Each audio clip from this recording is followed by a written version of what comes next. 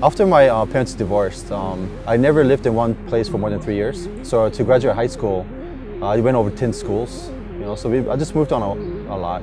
After I graduated, I worked full-time retail and it was very stressful and didn't like it. My mom taught me to, you know, until 20 years old, you can have uh, much as fun as you want. Uh, between 20 to 30s, that's where you wanted to kind of narrow things down and trying to focus on what you want to do. And when you have 40 years old, that's when you want to start mastering, become very good in what you do. You're trying to learn all these tricks, but you know what? You cannot stop, right? You can kind of continue to climb up to the top. I was really motivated to just to earn money.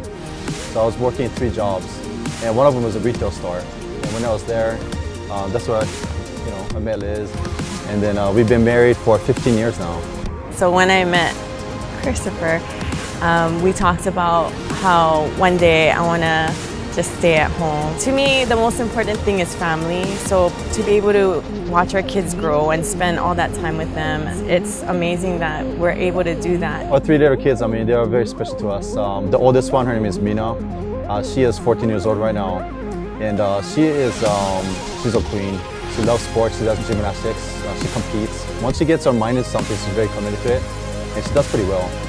Uh, our middle son is Christopher, and I named him after myself. And uh, you know, he's my first boy. He's 10 years old. He is a, a, brain guy. You know, he loves studying. He wants to become an engineer when he grows up. And my youngest son is a, is a clown. His name is Case. He is six. He's very special. That guy is very special. When we were dating, I asked him what he did, and it was just on the side, and he told me, oh, come along and come to a meeting, and I thought, okay. So when I first was introduced to network marketing, I was very excited about it because of my background, um, you know, when I was seven and a half years old with my two little sisters, we moved to a foreign country and, uh, and we started living with my mom. So we were raised by a single mom. However, um, to my mom to put a food on the table, she had to go out to work. And with that, so we only got to see my mom only once or twice a month. And we were raised by babysitters. And I, I still remember when I was seven and a half years old, my two little sisters crying, asking for mommy all the time. And I had to be the one comfort them, right? So during those time, I, I told myself that, you know what, when I become one parent, I'm gonna make sure that uh, I'm gonna be able to be there for them. So when I was introduced to network marketing, I, I just knew this was my opportunity for have somebody like an average person like myself um, that has an opportunity where to make a good income to be able to watch my own kids. When you go there, you meet all these like very positive people with a lot of energy, and it was so different from working at where I was working, and it was just like kind of, wow, what is this? And when I went to the first meeting, I saw this an average person that was making 10, 15, 20, 40,000 dollars a month. And I was, and they told me that your experience doesn't matter, your education doesn't matter. I mean, I went to college, but I didn't finish college.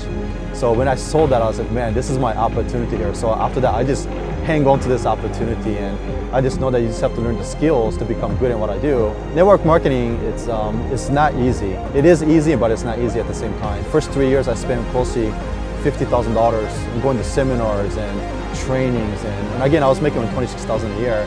But that's where I wanted to invest into myself and my knowledge. Uh, so my first three years I struggled, but I just knew that I, I took that as that's my university. And after my third years, that's when I started making six figures uh, in this industry. Uh, and then I started to uh, help other people do exactly the same. You want to enjoy the journey while you're along with it, and the, you know the things you come along with it, the personal growth, uh, people skills, uh, all those things I learned. To me, I'll just never take that back. From the moment I met him, he's been always thinking about the good in things, but just I feel like as the years passed on, he's learned so much from people, and he he wants to learn. He's you know he always wants to grow. The people I surround myself with is like another huge family. You know, we just help uplift each other, just motivate each other, and uh, we, we got each other's back. And we all cry together, we laugh together, uh, we party together. It's, it's amazing, it's amazing. Just to watch the whole process, it was really great because he's become really incredible at what he does and even as a person, I think he's really grown. I'm Chris Cannon. I am a husband. I am a dedicated father. I am a achiever. I am a leader. And I am a network marketing professional.